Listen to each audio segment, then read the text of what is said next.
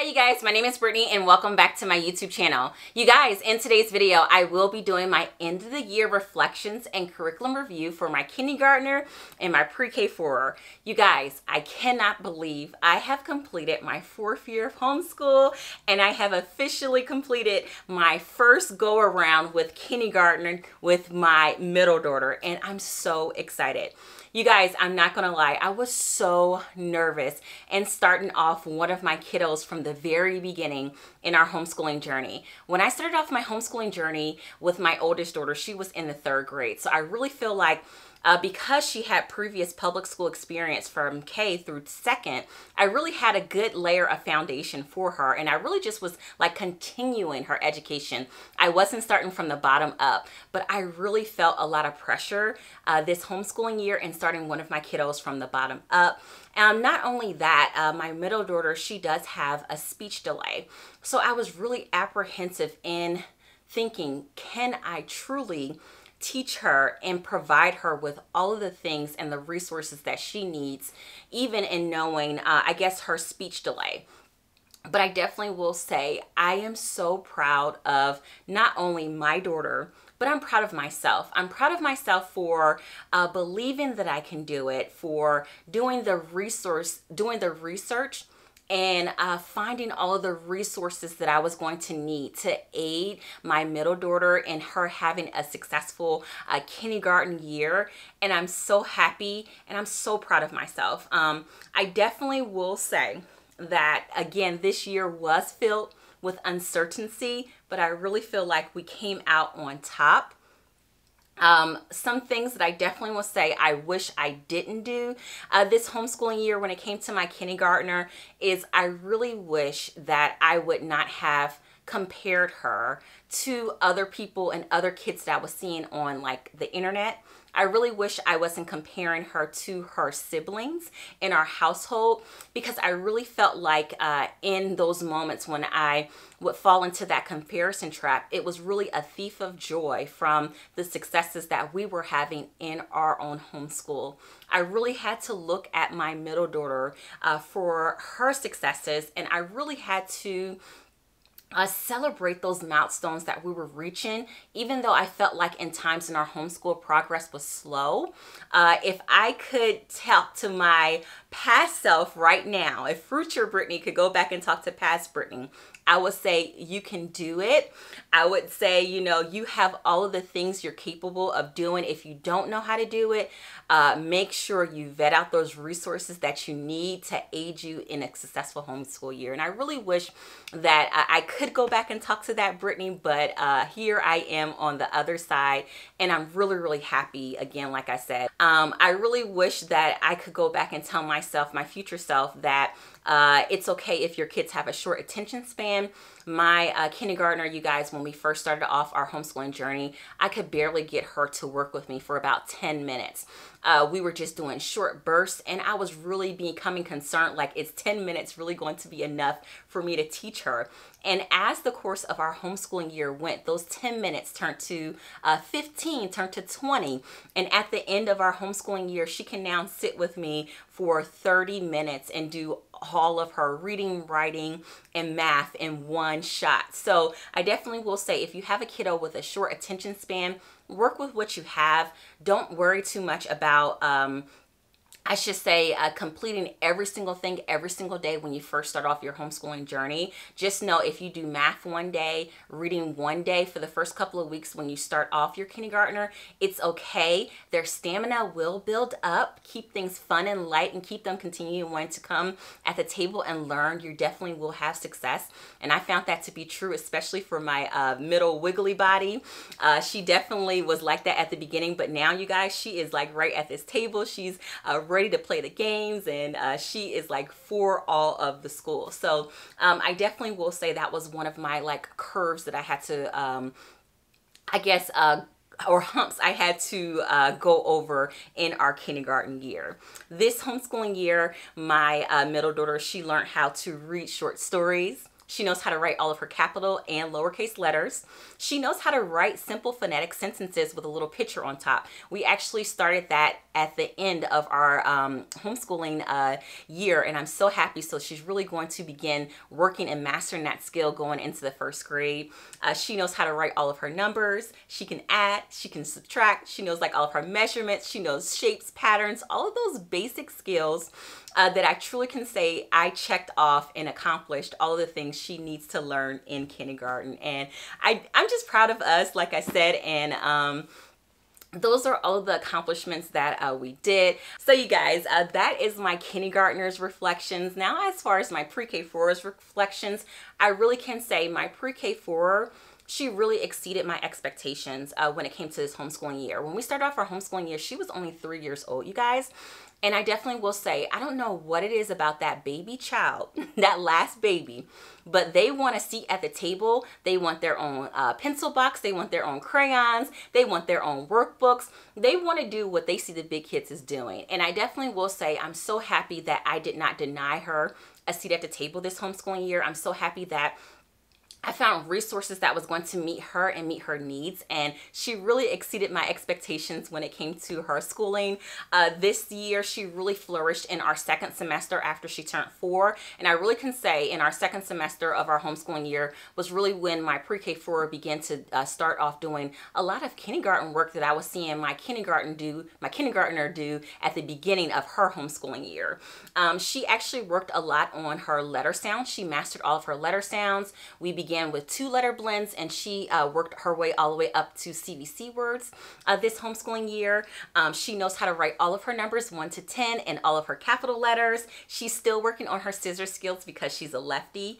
Um, I truly can say um, that I am, like I said, happy I gave her a seat at the table and I allowed her to flourish and I allowed her to be with the big kids. And um, I'm happy to see the successes and the things that she's learned. And uh, it's really just going to aid me in this upcoming homeschool year year, I can kind of just pick up where we're at with my youngest and kind of see where it goes. But so far, she really, really enjoys school and I'm happy to do school with my uh, baby girl.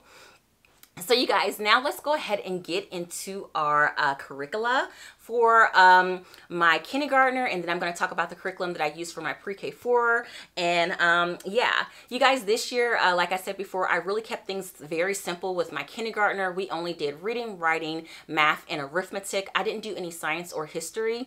Uh, in the state of Georgia kindergarten is not a required uh, homeschooling year uh, for us to like register our kiddos. So I really had full uh, reign to pick and choose what I really wanted to do this homeschooling year without the pressure to meet meet the requirements of my state when it comes to our homeschooling laws, which I'm so grateful for. Um, because I just focused on reading, writing, and arithmetic, I really was able to dedicate that extra time to do her speech with my middle daughter. Um, we actually did speech through the public school system here in the state of Georgia. They actually offer speech therapy and a lot of other services completely free to homeschoolers. Uh, you just have to fill out the paperwork. Um, I have a homeschool coordinator that actually works with me uh, as as far as doing speech, I'm able to have access to speak with kindergarten teachers, um, to speak with different, um, I guess, have different resources from the public system to aid me uh, when it comes to uh, my daughter's education, which is really, really cool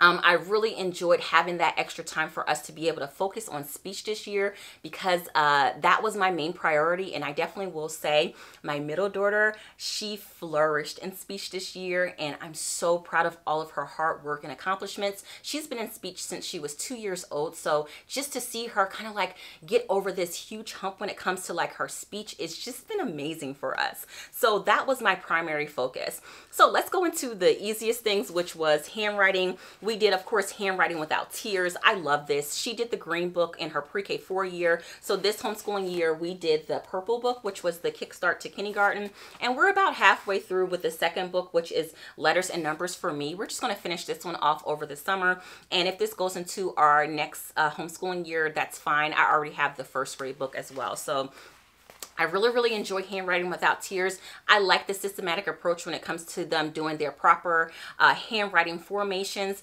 Um, I definitely will say um, I enjoy it for their print, but I don't think I'm going to use handwriting without tears when it comes to teaching them their cursive. I may use a different curriculum for that uh, as we transition into that after like the second grade, but uh, I do love it for their uh, basic print formation. Um, so we really, really enjoyed this. This has definitely been a staple in my homeschool. I think what this is going on our uh, third year using handwriting without tears with all of my kiddos. So uh, yeah. Uh, that was an easy one. Um, as far as math goes, you guys, we did kindergarten math of confidence, and we also did uh, Math-U-See primer. And you guys, I absolutely loved both of these curriculums. Um, I am going to be making a separate review video of Kindergarten Math with Confidence, uh, Math-U-See Primer. That is going to be coming very, very soon on my channel. I definitely will say I really, really enjoyed the conceptual knowledge and the deep understanding when it came to number senses with Math with Confidence. I love that Math with Confidence covered a little bit more concepts such as like shapes, measurement, symmetry. Um, they covered more things than within the Math-U-See. I use Math-U-See as my supplemental math, so we would do Math with Confidence Monday through uh, Thursday because this is a four-day week program. They do have like a fun enrichment exercise on that fifth day, which uh, includes the math picture book that we did. And on the fifth day, I would always do the math picture book and whatever exercise when it came to Math with Confidence, and then we would do Math UC. Uh, so we would always do both of these curriculums. So Math with Confidence, Math-U-See, uh, Monday through, Math-U-See was Monday through Friday, Math with Confidence, Monday through Thursday. So that's kind of like how I did it in our homeschool. And I really loved her learning the concepts through Math with Confidence and then getting that extra practice and repetition through Math-U-See. But again, like I said before, I will have my separate review video on Math with Confidence. Um, all of my, um, I guess my pros about it, uh, things I would do differently or things I am going to be doing differently as I'm doing the program with my rising kindergartner coming up this uh, upcoming year. But I really enjoyed it and I'm so happy with my math curricular choice when it came or when it comes to like our homeschool for kindergarten. So we really, really enjoyed that. So we finished the kindergarten math with confidence in March. And what we did was we went ahead and picked up the first grade math with confidence and we finished this off at the end of our homeschool year we're on uh, week five of the first grade math with confidence. Um, i'm not too sure again if we're going to work in this through the summer uh, but i do have this here so if we do want to pick up a few lessons throughout the summer we can but for the most part uh, i think i'm going to go ahead and pause this and we will begin this at the beginning of her first grade year but uh, i absolutely love this math program. A little spoiler. So that is what we did with math. Now as far as phonics instructions we worked in all about reading level one and I definitely will say, if you watch a lot of my videos, I really think I have like a love-hate relationship with All About Reading. I feel like um, maybe it was just because of my daughter's progress being slow with it, I began to doubt the program and I began to feel, I began to lack confidence in uh, the program and saying like, am I doing something wrong? Uh, you guys, I promise you, I have read the front of this book the back of this book. I have went online and, and read all the facts, the uh, facts and the tips and tricks when it comes to All About Reading. I joined a few All About Reading Facebook groups just to kind of see any tips or tricks that people have and using All About Reading because I know a lot of people have success with this program, but I definitely will say uh, I was doubting this program. However, I am so happy that I stuck with it because now we have been going through lessons really, really fast. Things are clicking with her, and I'm so happy I did not give up on this program because I am truly beginning to love and see why people love it. And I definitely loved like the multi-sensory approach to the uh, All About Reading. I love how we have the letter tiles that we can use when we are uh, working on the letters. And I just love how she's able to pull these like magnetic tiles and working with it.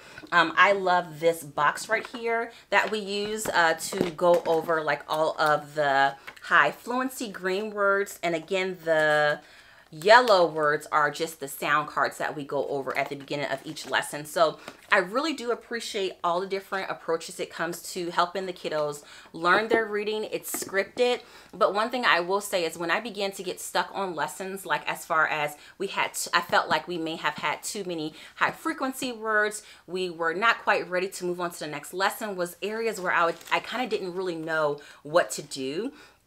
Uh, and I'm so happy that um, what I ended up doing instead of quitting the program, I just went online, you guys, and I found a lot of like uh, resources from actual like people to teach me how to teach her. One of my favorite online uh, resources in teaching phonics was uh, Spencer's channel from Toddlers Can Read.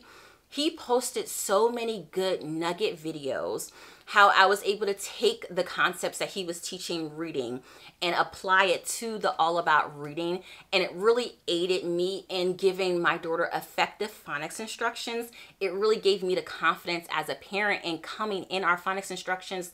And I really, really appreciated the time and the effort he put in his videos because even though I wasn't doing his program that he wrote, I was able to take all of the nuggets and apply it to All About Reading. And I definitely will say if I can give anyone any tips of advice when it comes to phonics instruction is that just don't go into phonics and reading instruction and just think that, oh yeah, you just can use one book and that's the end all be all. You will be pulling in a variety of different resources and games and things to continue to engage your kids in working as far as teaching them how to read. And sometimes you do want it just to be one book and it to be done, but it's really not like that. When it comes to reading instruction, a lot of time I had to shake things up, change the different resources. And I'm going to share with you guys some of the things that I did do in phonics to shake things up to kind of like get over us over the humps. But I definitely will say um, just be open to use multiple resources. Be open to stepping away from the lessons because sometimes you guys, I wouldn't do it all about reading lesson.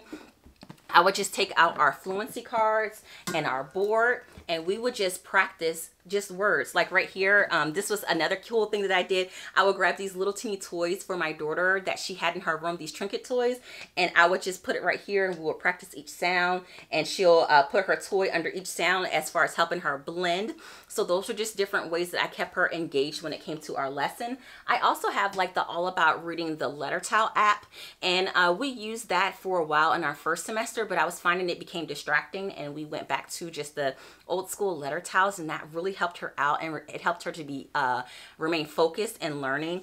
Um, another thing that I would do is I would use different like uh, Magnet-Tile uh, letters to go over our reading instruction to shake it up so she wasn't just using the letter tiles from the All About Reading. I would use my other magnet tile letters. Sometimes we would just take a plain dry erase board with a uh, marker and I would just write out the words and we would just go over it that way. I really kept things and shook things up for her when it came to reading and it just worked out so well for her. So I'm really, really uh, happy about our success with All About Reading. We made it all the way to lesson 17 and um, I really wanted to make it to lesson 27, but I'm happy with where we're at and we're just gonna continue trucking along with All About Reading into her first grade year. And again, I'm really proud of her success. Uh, one thing I definitely will say about All About Reading is she really enjoyed these cute little stories in this Run Bug Run book. A lot of them are really funny and I like them. I really loved how All About Reading already includes like the reading comprehension. So it tells you what page number to ask your kiddo a question. And I was so surprised of my um, kindergartner's comprehension level already after just reading these short stories. And I really like how it gets them to stop and think about what they actually read this early on in reading. So that's one thing I really appreciated about All About Reading in their readers. So along with All About Reading, again, we use the Explode the Code. And this, you will be so surprised how this marries so well with All About Reading. A lot of the uh, words that they're going over, uh, they match the high frequency words. And these are just really, really, really simple activities you can do with your kiddos. Again, like I said, some days I wouldn't even pull out and do all about reading lesson. We would just do explode the code. We would practice the high frequency words and we would just call it a day. And uh, this really helped her. It's something about them actually writing out the CVC word and blending it together that really helped it stick with her and solidify with her. Uh, we completed half of this book, the Explode the Code level one, and I hope to complete this uh, one over the summer and then we we can go into books one and a half and two in her first grade year, but this was definitely a great addition.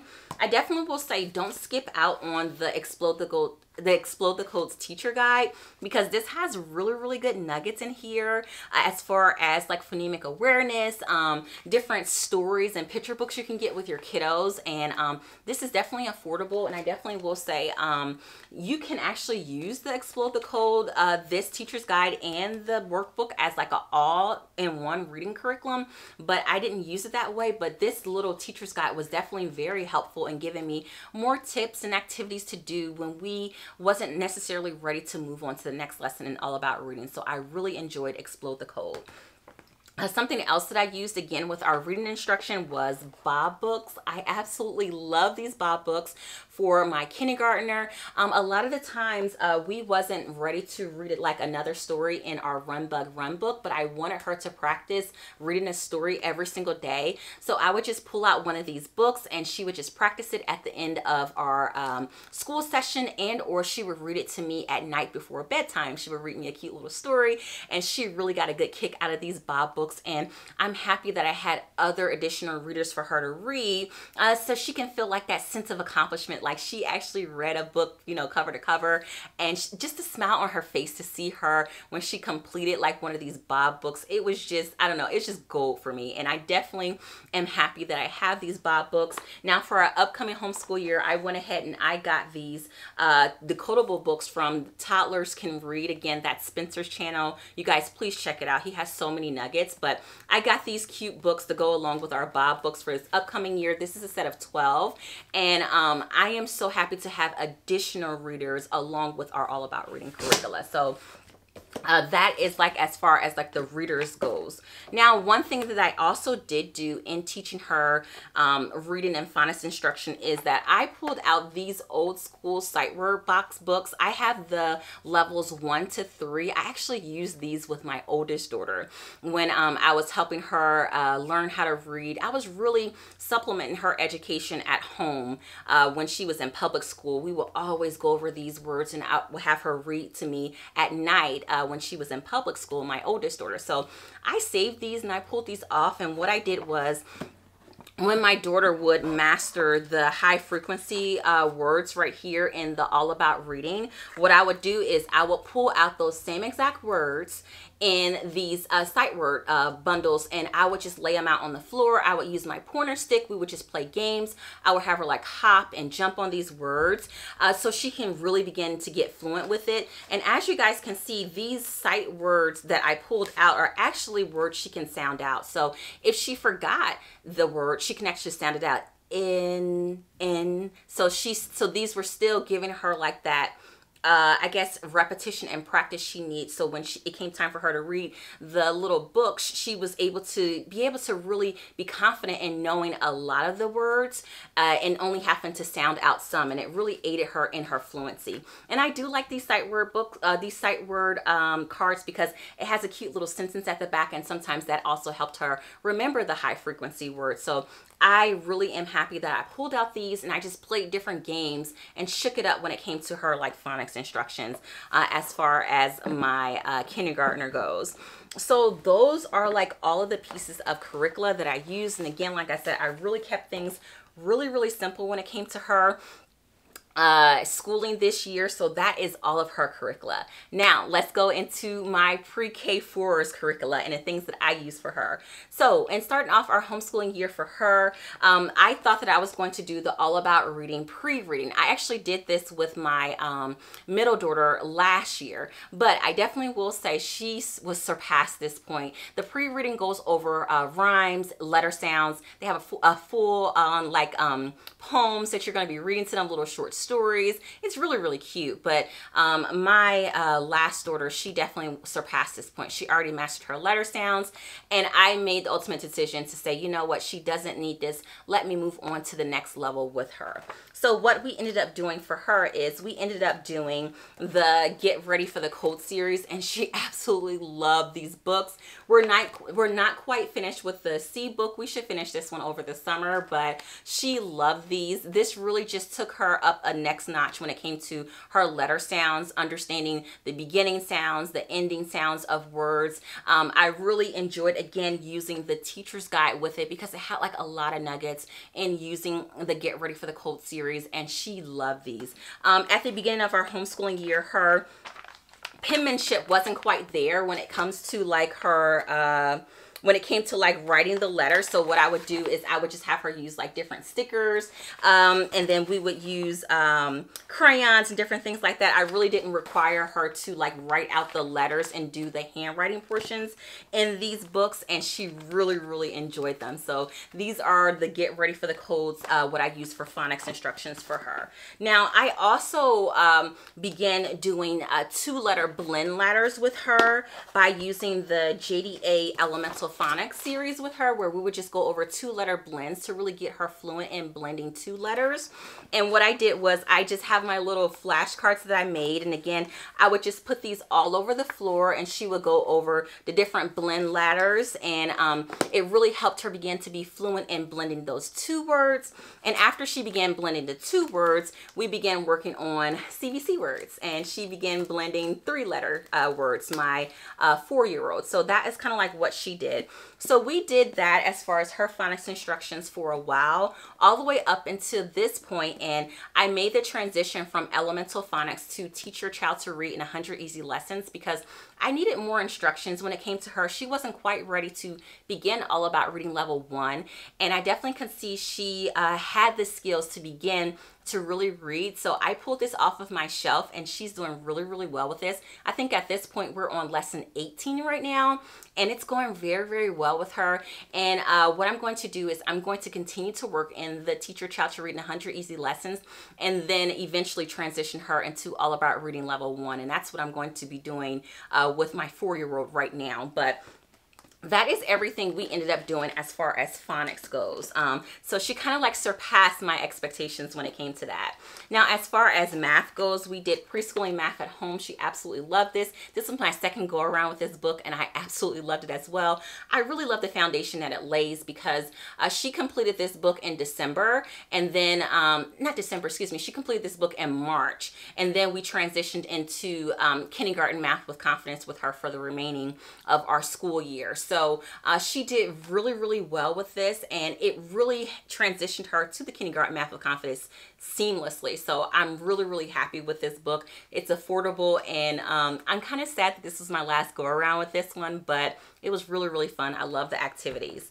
Um, we also did the JDA's uh, beginning preschooling math book. And again, these are just fun, cute little exercises when it came to just reinforcing those same math skills that she learned when it came to her um, preschooling math at home because this book doesn't have a workbook she wanted a workbook i already had this on pdf because i did this with my uh, middle daughter last year as far as like extra worksheets as well. So i just reprinted it off. It was already here at home and it was just something fun for her to continue to work on those math skills. So she really really enjoyed that as far as math. Now as far as penmanship goes she did the first uh, My School uh, book when it came to handwriting without tears.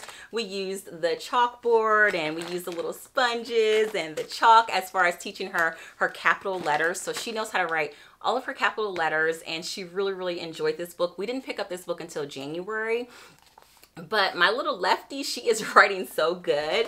Um, as far as writing her numbers we use all of these cute little um, number uh, poems and rhymes from the teachingmama.org and she learned how to write all of her numbers really really seamlessly. And um, it's so cool because now that she is in kindergarten math with confidence she knows how to write all of her numbers and she's doing so so so well. I really love these rhymes. If your kiddos are struggling in learning how to write their uh, letters these rhymes really really helps. Like this one's really really cute. It says straight line down then around with a grin that's how we make the number 10 and uh, they're, they're really really cute and my kiddos love these little rhymes when it came to writing their numbers. So uh, as far as my pre-K forward, um, we just kind of pivoted uh, as far as her curricula goes.